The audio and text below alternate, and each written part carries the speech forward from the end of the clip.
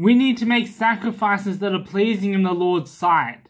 Bring an offering of sacrifice to the table of the Lord, ever pleasing in his sight. Hang yourself up on that cross.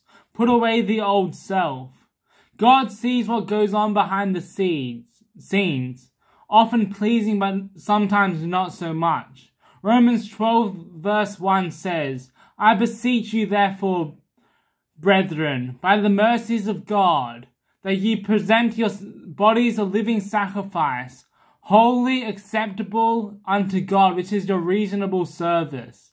When we present ourselves as a living sacrifice, holy and acceptable to God, this is our worship. It is in our makeup to worship and be a pleasing sacrifice to God. You were built for it, so do it. Offer yourself up to God who is an awesome God. Offer yourself blameless before the Lord. Be pure because the Lord you serve is pure. Become the mirror image of God. Be constantly perfected by the power of God. Be tried by his purifying power. The swamp shall be cleansed. That mess that you got yourself into shall be clean. That filthiness inside shall be cleansed if you give yourself over fully to God.